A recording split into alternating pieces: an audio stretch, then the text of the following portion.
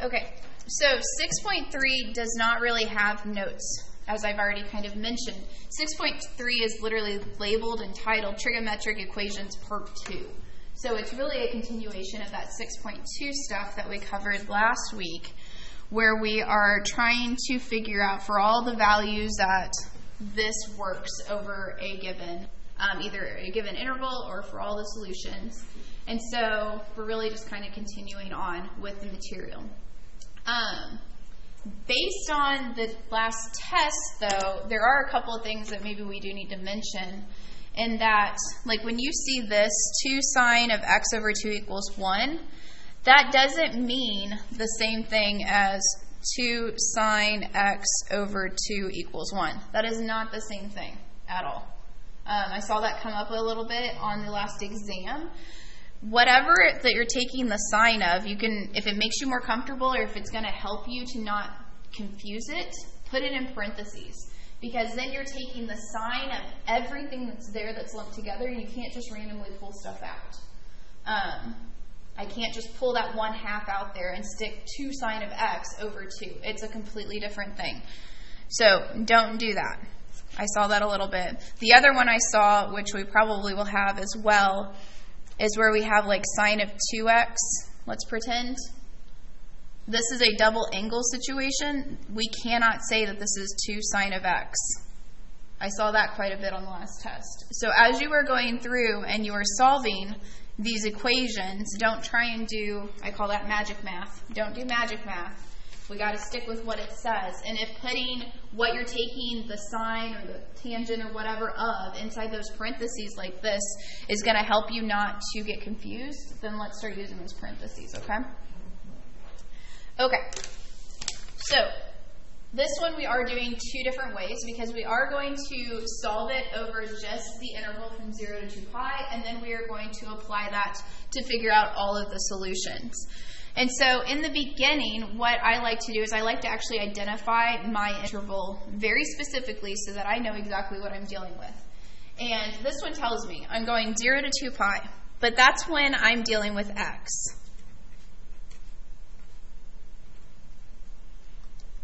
Now, if I'm looking at this one, I am not dealing with x. I'm dealing with x divided by 2. And so I need to divide my interval by 2 so that I can really figure out where I'm looking at on my unit circle as I'm looking for these values that are going to satisfy this equation. If this had said sine of 2x, then I would be doubling everything and be going over 4 pi. Okay? So I know I'm going to be looking at that interval. So now let's look at the actual equation. We have 2 sine of x over 2 equals 1. Remember from last week, the big thing is to get your trigonometric function by itself. So using algebra, I have a 2 out front. I would divide both sides by 2 so that I have sine of x over 2 equals 1 half.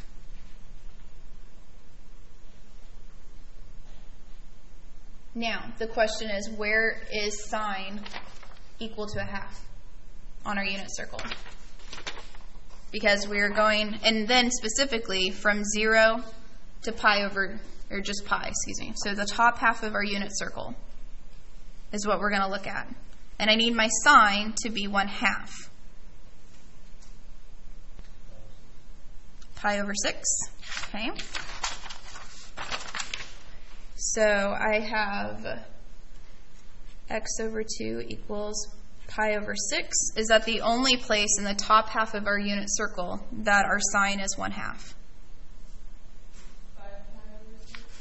5 pi over 6. We have two different points. Sorry, that's really crooked. Notice I made that x over 2 equals the pi over 6 and the 5 pi over 6. Because what we're trying to figure out is we're trying to figure out what x is. But we can't yet because we still have that divided by 2 aspect. So I'm going to set the x over 2 equal to whatever points will give me that sine value that we were looking for. And then I solve for my x. How do I do that? By multiplying everything by 2, which will give me pi over 3, or it'll give me 5 pi over 3. I get two different values that will work for this given equation and give me what I needed out in the end.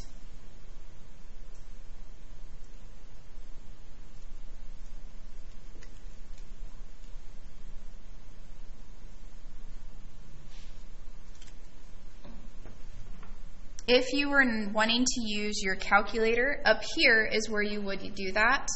If you remember from when we talked about inverse functions, this is sine inverse of 1 half equals x over 2.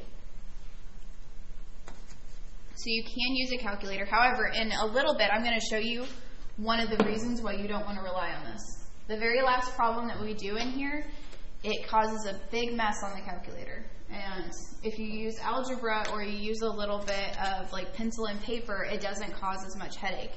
But using the calculator, it causes a big headache. So our solution set, when we're talking about being over 0 to 2 pi, or our limited space of 0 to pi, is going to be pi over 3 to 5 pi over 3. And those are the two values that work.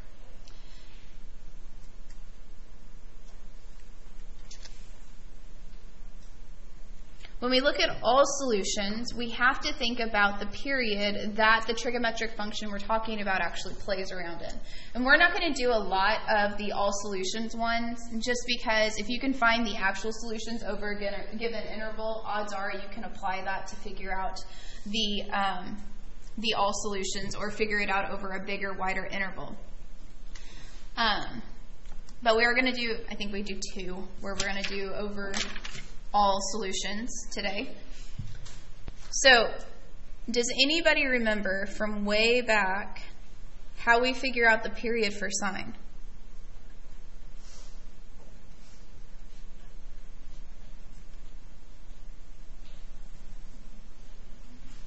There was kind of a little formula.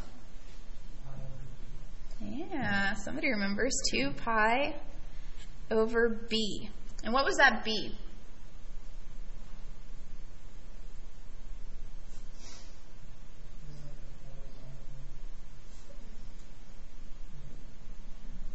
That's kind of a harder one to answer. So the b is kind of the the coefficient, as it were, to whatever you're taking the sine of. So if there was a number attached to your x, that would be your b. And if there wasn't one, then there was no change in your period at all. So in this case, if we're looking back up here, we had sine of x over 2, or 1 half x, meaning that our b in this case is 1 half.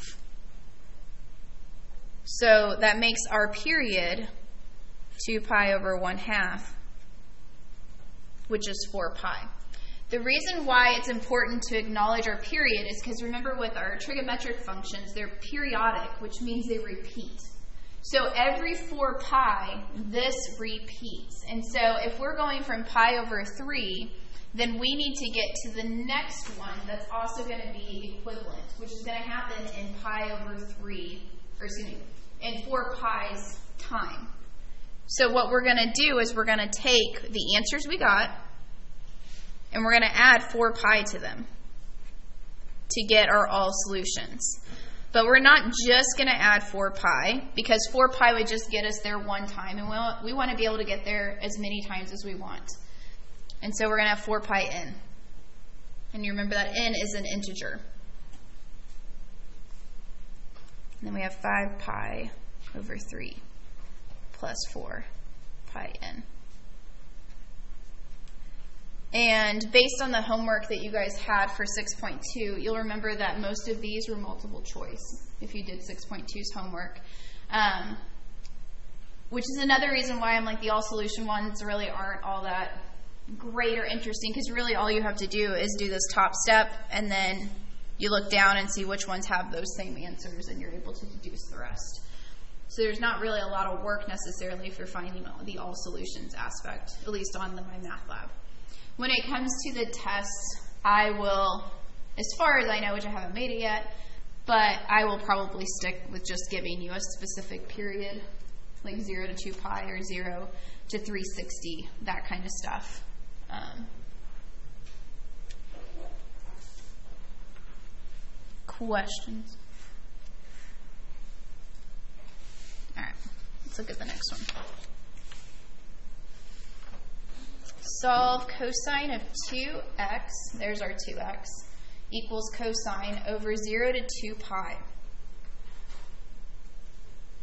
That cosine of 2x is a double angle situation. It's not 2 times cosine of x. We can't do that. So don't try and pull that out like a few of you did on the last test. But we can apply our double angle identities that we had in the last section if we really want to, which we probably should. So cosine of our double angles, that's the one where we had a lot of different options. And you're like, well, how would I know which one to pick? And you might not in the beginning. But here's what I'm going to notice. I'm going to notice that I have cosine of a double angle equals just regular old cosine. If I use this identity where I have 2 cosine squared a minus 1, it's going to get me to something that looks a lot like a quadratic.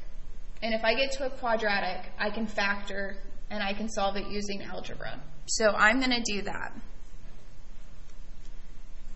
So I'm going to note that cosine 2x is the same thing as 2 cosine squared x minus 1. I'm going to use one of my double angle identities. That way I have 2 cosine squared x minus 1 equals cosine x. And then I'm going to move that cosine over to my left-hand side. 2 cosine squared x minus cosine x minus 1 equals 0. Now I have something that looks like a quadratic. This looks like x 2x squared minus x minus 1. I can factor that. And if I couldn't factor it, I could at least use the quadratic formula if I needed to do that. But this one does factor.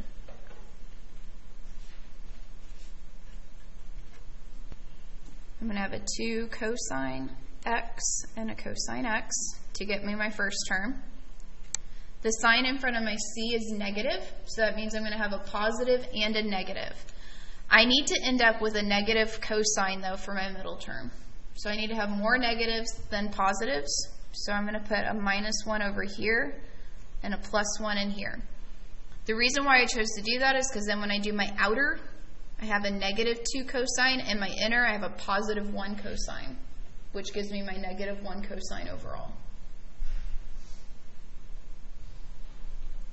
Now that I have a factor times a factor equals 0, I can use my zero product principle from college algebra and set each of my products equal to 0 and solve.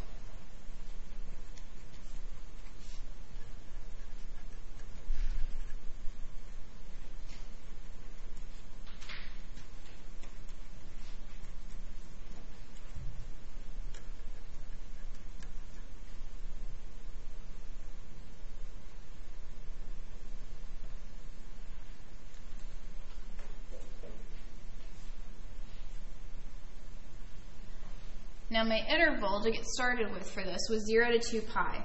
So I can use any part of the unit circle. And I need to figure out where is cosine negative 1 half. So if I look at my unit circle, I'm looking for my x terms to be negative a half. That happens at 2 pi over 3, right here in quadrant 2. And it's going to happen down here at 4 pi over 3.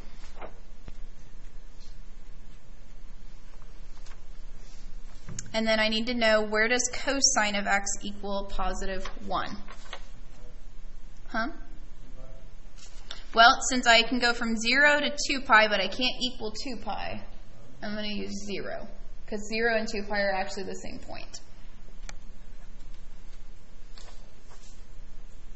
So then my solution would be 0 2 pi over 3 and 4 pi over 3.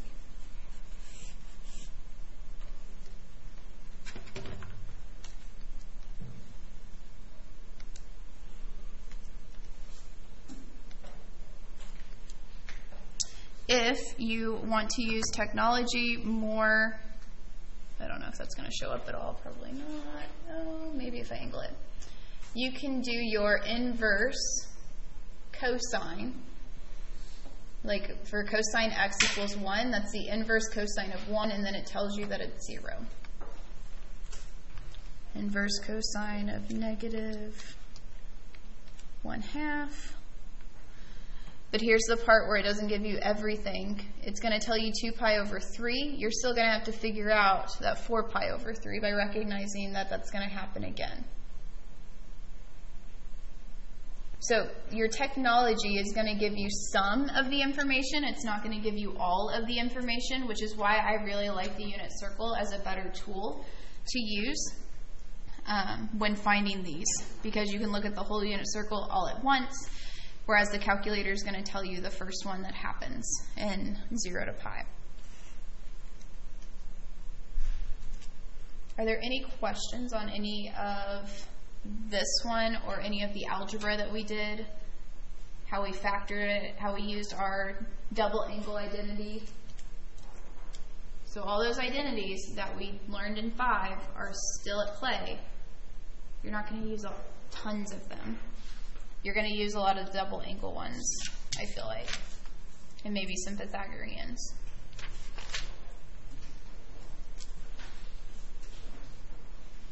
You ready to try another one? We'll do one more. This is the other one that has where we're going to do it both ways. We're going to do it over a given interval, and we're going to do it for all solutions. And this one also changed, if you notice, that our interval now is being given in degrees. So that means it wants degrees out. If it gives you your interval over radians, like 0 to 2 pi, then it wants radians out. Or decimals, depending on how it's going to play out. This one, though, we're going to want degrees.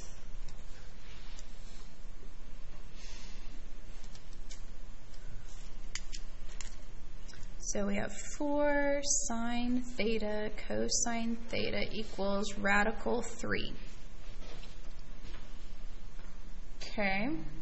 Well, I don't know of any identities that we have that have a 4 in it.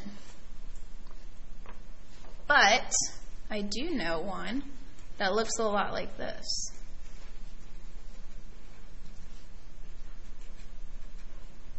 By simply pulling and separating out the 2 from that 4, what does this equal? Hmm? Sine 2 theta. This is our double angle um, identity for sine of 2 theta. So we have this 2 out front, which will be 2, and then all of this inside now is equivalent to sine 2 theta.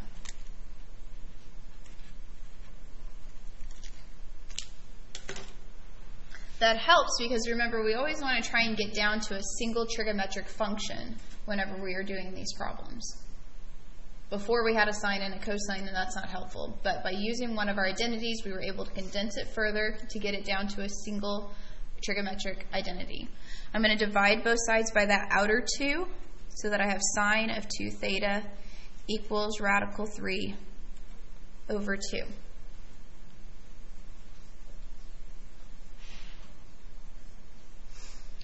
Now, this is another one where, like our first problem, we were dealing with like theta over 2, and that changed our period. This one's getting changed too because we are dealing with sine of 2 theta. So originally we were between 0, not equals, 360. But if we're going to double everything to where we have 2 theta, then that means we're actually going all the way out to 720.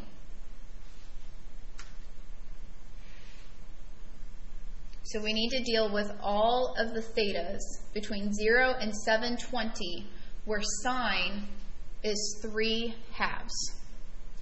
not 3 halves, radical 3 halves. Excuse me. Nah, don't do that. So, where in the world is sine positive? Because we found sine is positive. So in quadrant 1, is that the only place sine is positive? Quadrant 4. Our x's are positive in quadrant 1 and quadrant 4, so that's where we kind of need to be looking. Or no, sorry, you were right, 2. I looked down to a different problem, 2. Thank you. It's a 2. It's a 2. So that's the top half of our unit circle that we're going to be dealing with. So, top half of our unit circle, where y is radical 3 over 2. Well, that happens at pi over 3, which is 60. I want to think of it in terms of 60 because I'm dealing with degrees. And then if I look over on my unit circle, I'm going to hit it again at 120.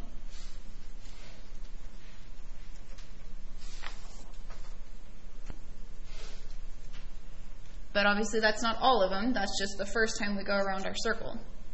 So then how are we going to find the others?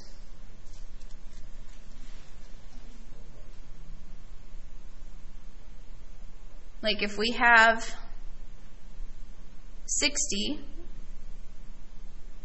and I go around the circle again, what do I do to that 60? Yeah, I add 360 degrees. I'm finding a coterminal angle by going around the circle one more time. So 60 plus 360 is 420.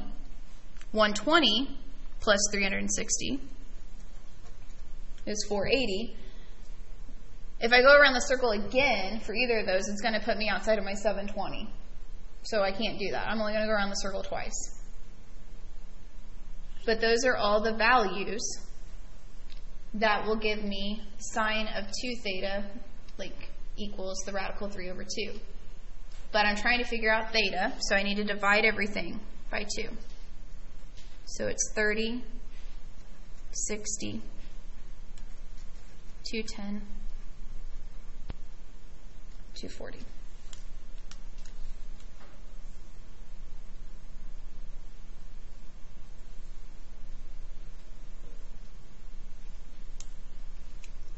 I foresee the biggest error being that when we are finding our thetas, if we're not careful, we'll think that when we find this first set of values that that is our theta and we're done.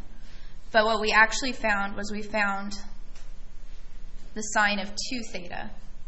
And so we have to go one step further to divide everything by that 2.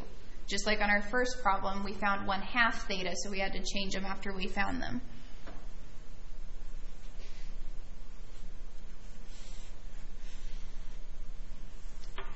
Okay, and I said this was the other problem where we are going to apply this for all solutions.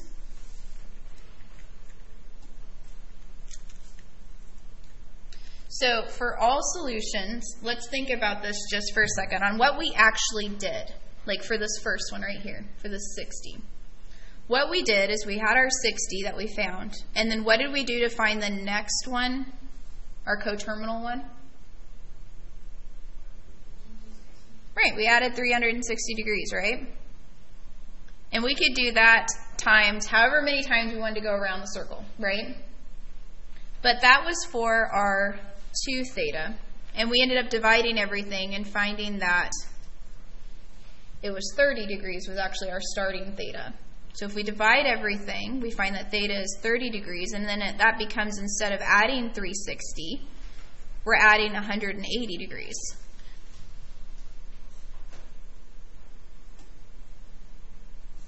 And the other value that we started with was the 120, and it follows suit very closely that we had 2 theta equals 120 degrees plus the 360. But then when we divide everything by 2, we get 60 degrees plus 180 degrees.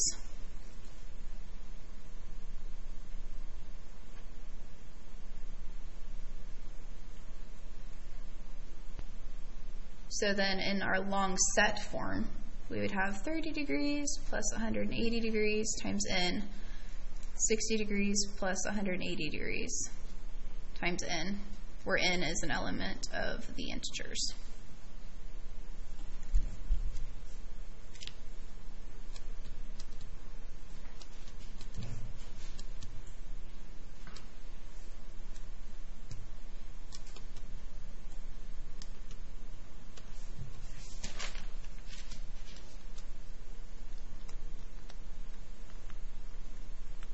Okay, so here's the question. We've got one Big Daddy problem left. It's not really Big Daddy. I mean, it's got some algebra in it. It's not too hard. Want to knock it out? Because we've still got, you know, 15 minutes left of class. Okay. Um, this one took me the back of my paper, just so you know. So, I'm just letting you know in case you're trying to cram it in at the bottom of a page. I wouldn't try and do that.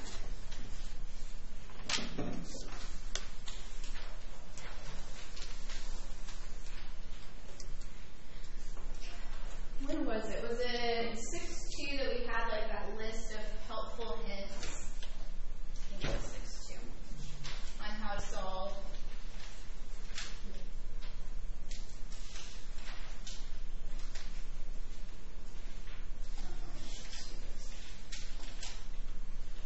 But it was in six two, yeah. Okay. And one of those dealt with if we have to do any type of squaring at any point, we're going to have to make sure and check our solutions at the end. That was kind of, I think it's the last helpful hint. Um, and so for this one, we're going to apply that one. And the reason why is because if I look at this problem, I've got tangent of 3x plus secant of 3x equals 2. I'm doing it over the unit circle in radians from 0 to 2 pi. Okay, not a big deal. But I don't want to have tangents and secants at play because I need to get down to a single trigonometric function. I do know, though, from my identities from chapter 5 that I've got this nice Pythagorean identity right down here that deals with tangent and secant. So I bet you I'm going to do something with that. So kind of to note, 1 plus tangent squared x is the same thing as secant squared x. Or another way to write that is if I move that 1 over, I have tangent squared x equals secant squared x minus 1. So if I get tangent by itself, I can square both sides of it, and then I can apply this um, identity. And what that's going to allow me to do, because you're like, wait, why would I want to do that? What that's going to do is if I move all that crap over and I square both sides, then I'm going to be able to substitute all of this in for my left-hand side, which means I'll have secant on the left and secant on the right, and then I'm going to be good because everything's in terms of secants. And then I can do further algebra to get it all together. I want the same um, unit, kind of, is how you could look at it. So I'm going to take and I'm going to subtract that secant of 3x over to the other side. So I have tangent of 3x equals 2 minus secant of 3x. I just subtracted it over. Now that tangent is by itself, I'm going to square both sides. When I do that, I get tangent squared 3x on the left. And do not do magic math and tell me I have 4 minus secant squared 3x on the left. I do, or on the right. I do not. Because remember, when I'm squaring this, if I can write anything, um, I'm squaring a binomial. And when you square a binomial, you have to use FOIL. I'm going to have to apply first, outer, inner, last so I don't lose that middle term. Tangent squared of 3x equals, I take my first, 2 times 2 is 4, outer minus 2 secant 3x, inner minus 2 secant 3x, last plus secant squared 3x.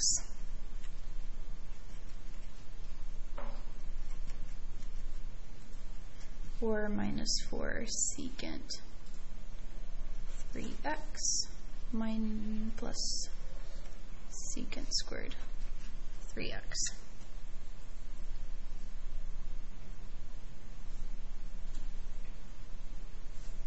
Now that I have tangent by itself, I'm going to apply my Pythagorean identity.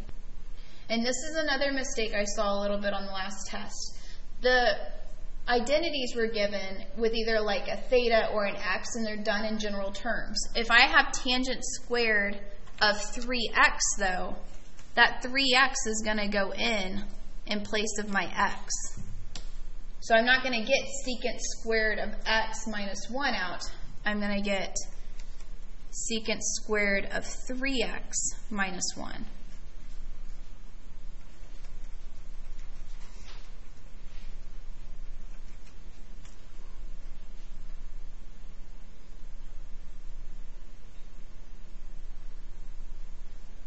So I got tangent by itself, squared both sides. I am now applying a Pythagorean identity to substitute in my secant squared information in place of tangent squared.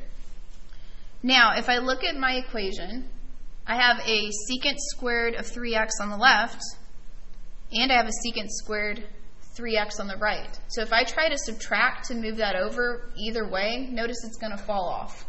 It cancels itself out. So I have a minus 1 equals 4 minus 4 secant 3x. Now I'm going to concentrate on getting my secant by itself. I like to keep things positive, so I'm actually going to move this over here and move the 1 over here. You could do the exact same process by subtracting the 4, and then in a minute we'll divide by 4, and they're both negatives, but I like to keep everything positive if I can. So I moved my negative 4 secant over, and I moved my negative 1 over. If I'm trying to get secant by itself, I would divide both sides by 4. And I have secant 3x equals 5 fourths.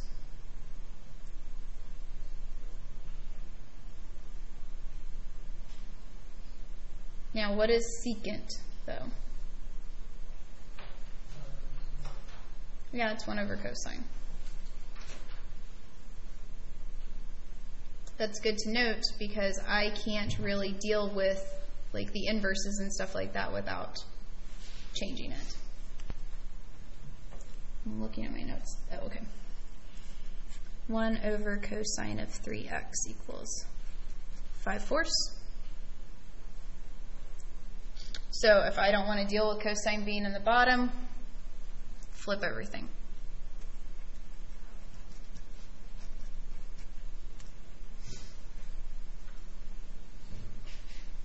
The long algebra method of what I just did is I multiply the cosine 3x over and then I divide by the inverse of 5 fourths and I still end up getting here to cosine 3x equals 4 fifths. Okay, where are cosine values positive on the unit circle?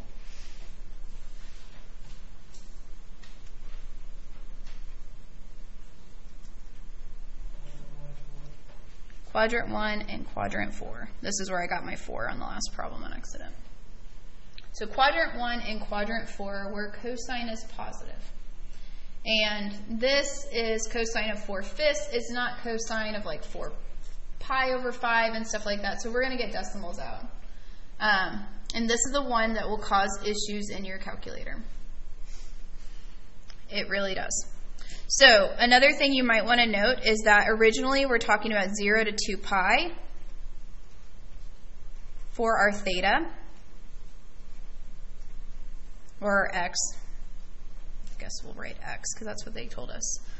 But what we're actually dealing with is we're dealing with a 3x, so that means we're going to go all the way up to 6 pi for our answers.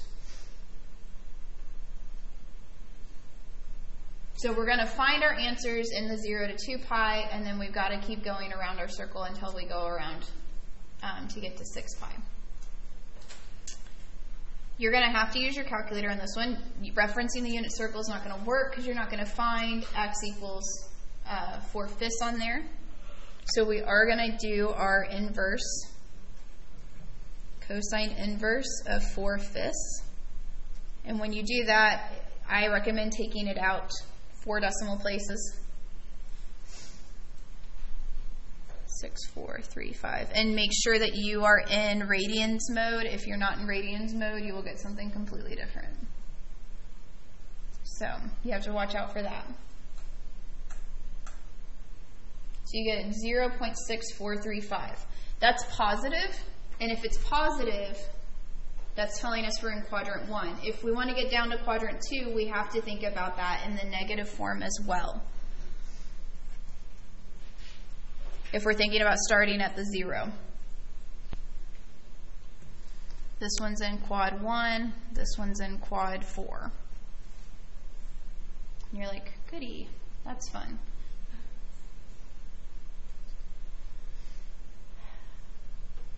So here's the problem that comes from this one if you're doing the calculator. One, if you do this, this cosine negative 4 fifths, you're going to get this. Not a big deal. It's finding all the coterminal ones that aren't going to work with your calculator. And the reason for that is because cosine inverse is not one to one except on a given interval. And once you get outside of that interval, it's going to cause an error on your calculator. And so you have to do some of this by hand in terms of at least writing out where we're trying to get to. So if we're trying to go 0.6435, that's our starting value. And that's in quadrant one. To get to the next coterminal one, what do we need to do? Like we're in quadrant one, we're somewhere over here, and I need to go and get over there again because I got to go until I hit 6 pi. So I got to go around the circle three times. Yeah, I've got to add 2 pi. Now, your calculator can do this. It can take this 0.6435 and add 2 pi. The problem arises if you try to go back an extra step and say cosine of 4 fifths plus 2 pi, like the cosine inverse, that's when you're going to get the error out. So you have to do a little bit of this after the fact and not try to do it all inside of like this step right here. Your calculator will do this, and it gets you to what six nine two six seven. So that was going around the circle another time. This was one. This is basically four pi. So now we take this, and we have to add two pi to get to where we're in the six pi circle. And that's going to give you 13.2099. So this one fell from 0 to 2 pi. This one falls from 2 pi to 4 pi. And then this one falls from 4 pi to 6 pi. Sorry, that is really crappy handwriting, but I'm running out of paper. Now we do the exact same thing for the negative. The negative 1 took us down to quadrant 4. And that first value doesn't actually live inside of our interval that we were on. And that's okay because once we add 360 to it, it will live inside the interval that we're looking for. Sorry, the little Elmo thing doesn't have enough space over here for me to shift up far enough.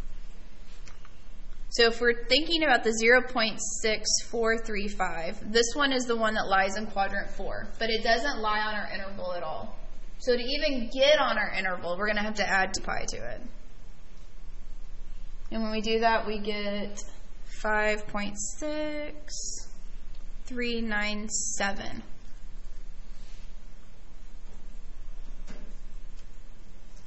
And then we're going to do, that one actually lives on our first interval, that's 0 to 2 pi. Then we got to add 2 pi, and we get a new point. 11.9229, which you probably can't see. Sorry, it's all crooked. This one lives on our 2 pi to 4 pi. So we have to do it one more time. We have to do it an extra time because we started in the negative. Ah, that's the wrong color. 18.2061. And that one lives on our 4 pi to 6 pi. Yeah, stop turning off.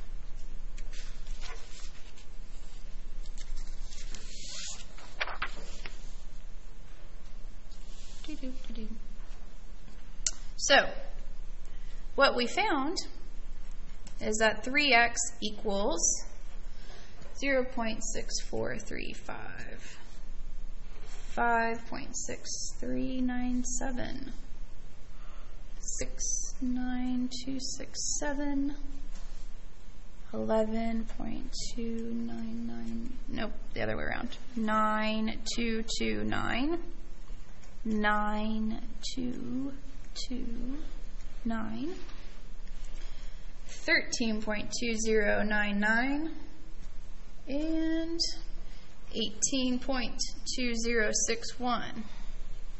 All kinds of fun gloriousness, yeah? Because we love decimals so much. The problem becomes that's for 3x. So if we are finding x, what are we going to have to do to all those numbers? yeah, we got to divide them all by 3. So that's fabulous.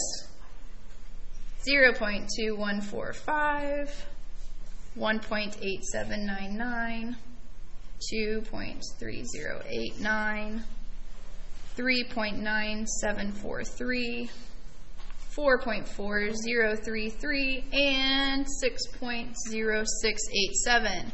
Now, almost done. I know, time's up. Um, what did we do? What was one of the first steps, though, that we did when solving, like trying to get this equation to play? We squared it. So what do we have to do? We have to check all these. Now, that sounds absolutely horrific, and it's not totally fun. But when you check it, you check them on your calculator. Okay? And so, I know. So you go all the way back up and you say, okay, so I have tangent of 3x plus secant of 3x equals 2. So you type in tangent of this first one. I would go up here to this one. Tangent of this plus secant of this and hit enter and you should get 2 if it works. If you hit enter and it doesn't equal 2, it doesn't work. Okay? I'll go ahead and tell you half of them don't work. And I will show you it's all the ones that derive from our negative value. So those ones don't work. You can't. Yes, you can. So that is a big, long, gross problem. I won't give you ones like that on a test.